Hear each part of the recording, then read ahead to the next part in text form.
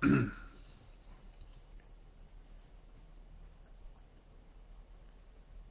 morning, folks.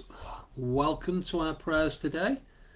Um, good to be with you. So, using the uh, daily prayer app from the Church of England um, website for morning prayer, um, Tuesday, the 21st of February. Still our hearts for a moment in the stillness.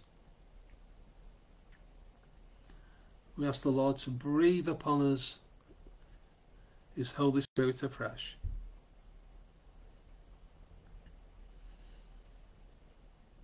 Jesus said, Receive the Holy Spirit. So today we pray you'll come to us, O Lord. Fill our hearts, our minds, our souls, our spirits with your presence. Wonderful name of Jesus. Amen. O Lord, open our lips, and our mouth shall proclaim your praise. Blessed are you, Creator of all. To you be praise and glory for ever. As your dawn renews the face of the earth, bringing light and life to all creation. May we rejoice in this day you have made. As we wake refreshed from the depths of sleep, open our eyes to behold your presence and strengthen our hands to do your will, that the world may rejoice and give you praise. Blessed be God, Father, Son, and Holy Spirit. Blessed be God forever.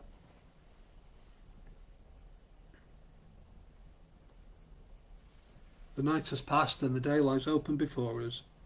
Let us pray with one heart and mind as we keep a moment's silence.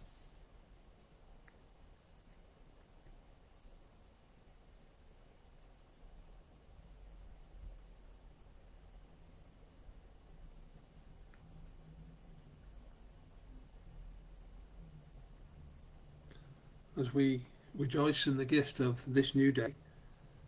So may the light of your presence, O God, set our hearts on fire with love for you, now and forever. Amen. There's one psalm today, Psalm 73. the reason there's one is because um, it's a long reading, but not too long. Truly, God is loving to Israel, to those who are pure in heart. Nevertheless, my feet were almost gone. My steps are well nigh slipped. For I was envious of the proud. I saw the wicked in such prosperity. For they suffer no pains, and their bodies are sleek and sound. They come to no misfortune like other folk, nor are they played as others are. Therefore pride is their necklace, and violence wraps them like a cloak. Their iniquity comes from within. The conceits of their hearts overflow. They scoff and speak only of evil. They talk of oppression from on high. They set their mouth against the heavens, and their tongue ranges round the earth. And so the people turn to them and find in them no fault. They say, How should God know? Is there knowledge in the Most High? Behold, these are the wicked, ever at ease, they increase their wealth. Is it in vain that I cleansed my heart? and wash my hands in innocence.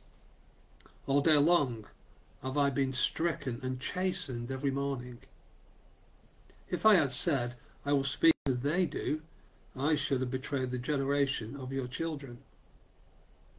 Then I thought to understand this, but it was too hard for me, until I entered the sanctuary of God and understood the end of the wicked how you set them in slippery places, you cast them down to destruction. How suddenly do they come to destruction? Perish, and come to a fearful end. As with a dream when one awakes, so Lord, when you arise, you will despise their image. When my heart became embittered, and I was pierced to the quick, I was but foolish and ignorant. I was like a brute beast in your presence. Yet I am always with you. You hold me by my right hand. You will guide me with your counsel, and afterwards receive me with glory. Whom have I in heaven but you? And there is nothing upon earth that I desire in comparison with you. Though my flesh and my heart fail me, God is the strength of my heart, portion forever. Truly those who forsake you will perish, you will put to silence the faithless who betray you. But it is good for me to draw near to God. In the Lord God have I made my refuge, that I may tell of all your works. Glory to the Father, and to the Son, and to the Holy Spirit, as it was in the beginning, is now, and shall be for forever. Amen.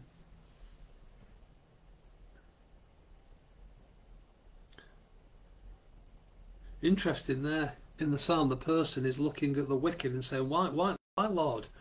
And then um, asking questions of himself, really, and, and saying, "You know, why, why have I kept myself pure? What, what's going on?" And it's this um, sense of turmoil that the person who writes the psalm is going through. Then it says, "Until I enter the sanctuary of God," and it was in the presence of God that his thinking um, came into line it came into perspective. It came into the place where God wanted it to be. So, whatever um, our turmoil, our confusion, our thinking is this morning as we pray together, uh, let our prayers be that we we are enabled to come into focus in terms of being in the presence of God and seeing things the way that He does through uh, the work of the Holy Spirit within us. A reading now from John's Gospel, chapter 3, verse 22, and to the end. After this, Jesus and his disciples went into the Judean countryside, and he spent some time there with them and baptized. John also was baptizing at Aenon near Salim, because water was abundant there, and people kept coming and were being baptized. John, of course, had not yet been thrown into prison. Now a discussion about purification arose between John's disciples and the Jew. They came to John and said to him, Rabbi, the one who was with you across the Jordan, to whom you testified, here he is baptizing, and all are going to him. John answered, No one can receive anything except what has been given from heaven. You yourselves are my witnesses that, that I said, I am not the Messiah, but I have been sent ahead of him. He who has the bride is the bridegroom. The friend of the bridegroom who stands and hears him rejoices greatly at the bridegroom's voice.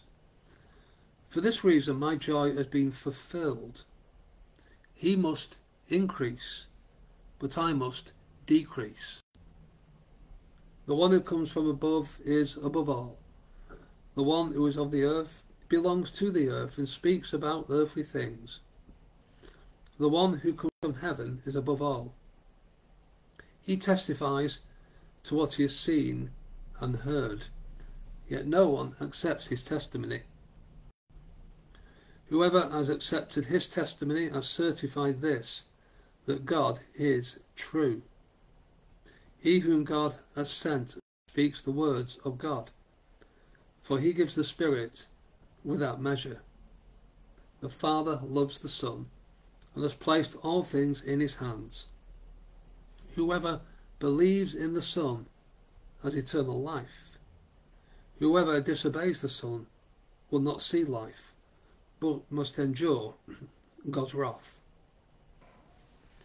This is the word of the Lord. Thanks be to God. Lord, grant us understanding of your word this day, for we ask in Jesus' name. Amen. So this passage puts um, very much into perspective the place that Jesus should have. John quite clearly testifies that look, Jesus has, has come from heaven, um, and of himself, John says, "I'm from the earth. I know my place." You know, um, and and it is my role to be content, to be, um, as it were, the friend of the bridegroom. What we would call these days the best man. But ultimately, it's not the best man who is is the um, the important person here. It is the groom. Now, of course, um, every every lady knows that the most important person in the world when it comes to a wedding is is the bride. Uh, yes, we know that, and that's why uh, Jesus refers to his church as as his bride. Uh, I often, um, as part of the talk at a wedding, I always do the, the, the wedding the wedding quiz. So um, so I'll, I'll I'll say to the the newly married couple to, to the new husband, and I'll and I'll say because I know what the answer is going to be, and I'll say to him, so who is the most important person in the world? And the husband, nine times out of ten, um, will turn and say, she is, pointing to his bride. And then when I ask the bride the same question, who is the most important person in the world? Of herself, she will say, I am. But in this passage, in the culture that Jesus is talking about, what he's saying is this it's enough for the friend of the bridegroom to make all the preparations, but ultimately, he must go into the background. Once his task is finished, it's up to the husband to take the place, not his. And he moves out of the way. Because Jesus is the bridegroom of the church, the bride that he loves. And there is a key to Christian ministry here because whether it's through the second coming of Jesus, which we're, let's face it, face it, 2023 years closer uh, today um, than we were before. Um, and so the time is near, but people have been saying that for 2,000 years, but the time is near because we're ever closer to the coming of Jesus. When that happens, he will take the prominence and we will be part of his kingdom. For those who have opened their hearts to him and to his lordship. But then we must also decrease that whilst we're waiting for the second coming, there will be a day where whatever we built upon this earth, in both cases actually, we're going to leave behind us because it will be a new day and a new start. So it's with that um, sober approach that um, I, look, I look at ministry in two ways. That we we hold it tightly in as much as let's be responsible for the gifts that God has given to us and use those spiritual gifts that He's given to, to every single one of us. So we, we hold that tightly. That's about responsibility. But we hold it lightly because we know that whatever gift we've got, one day, ultimately, we need to surrender all to God and the future belongs to Him. And God can at any moment, if, if we're working over here, say to us, I want you to be over here now. Or we're doing a certain ministry, God can at any moment say, but I want you to move into this now. And that applies to every single Christian actually. That whatever gifts God has given to us, we hold them tightly. Yeah, we're responsible for this and we, we value this, but we hold it lightly because God might say, now it's time to pass this on. And that was the ministry of John. The fact that more people are going to Jesus to be baptized, John recognizes, well, this is what I came to do. It was my role to make preparations for the coming of the Messiah. I'm content now that I've done everything I need to do. And in, the note here is um, in that first paragraph that I read. John, of course, had not yet been thrown into prison. And John will gradually fade into the background, and Jesus will become more prominent. But that's our ministry too, that we must fade into the background and put Jesus at the forefront. That is the heart of Christian ministry. Now, if we're going to talk about success of Christian ministry, it's if at the end of the day people have their focus on Jesus, then we've done what we need to do. So, whatever we do today, may our focus be on Jesus. And when people look at us as Christians, may their focus be turned to Christ as well. May we be content for Him to become greater and for us to become lesser. Amen. Lord, we ask that we would live our lives with the right perspective, knowing that the kingdom belongs to you, that you are the Saviour of the world. And it's our task to point people to you, to say, Here is Jesus, the Son of God, the Saviour of the world. Amen. Going to um, go straight to prayer today. And so we'll come to the the collect, um, the prayer for today in just a moment. Let's still our hearts. Come before the Lord first of all with our thanksgivings. Lift our hearts to Him. We thank you, Lord, for a new day. We thank you for the food that you provide, the clothes on our bodies, the homes where we live, the strength that we need whether we're at work, whether we're actively retired, whatever our position is, we rely on you for our strength and we give you thanks. We come to you today, Lord, with our praises and we bless you and we bless your holy name. In the silence of our hearts, let us bring to Almighty God those who need His healing touch.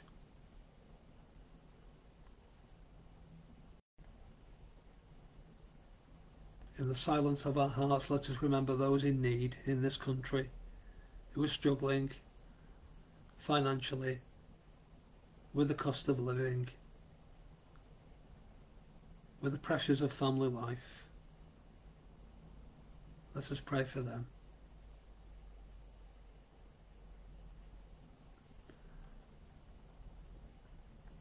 Let's just pray for those who will use the services of Comfort Cafe today. We pray for the service users and the service providers.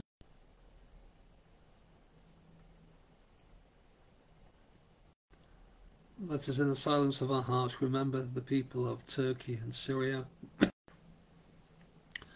following another tremor, another earthquake in the same region.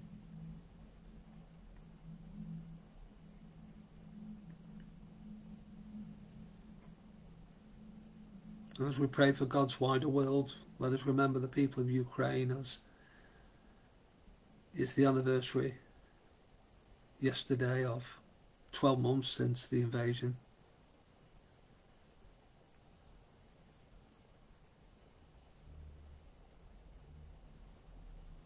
And as we draw closer now to the end of our prayers, let us bring to Almighty God those things upon our own hearts this day.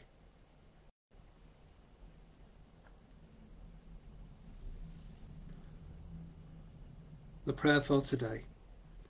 Almighty Father, whose Son was revealed in majesty before he suffered death upon the cross, give us grace to perceive his glory that we may be strengthened to suffer with him, and be changed into his likeness from glory to glory, who is alive and reigns with you in the unity of the Holy Spirit, one God, now and forever.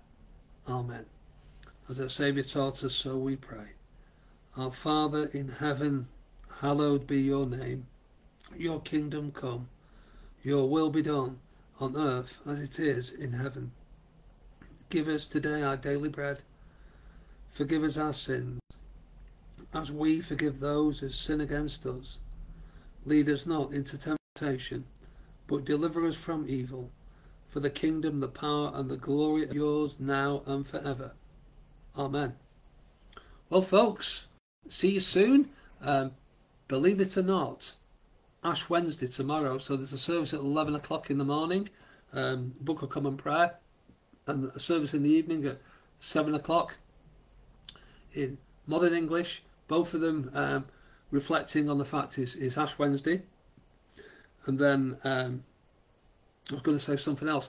Morning prayers on Thursday. Then look out for, for night prayer, which was recorded yesterday. Um, that's sign language. That means yesterday, by the way.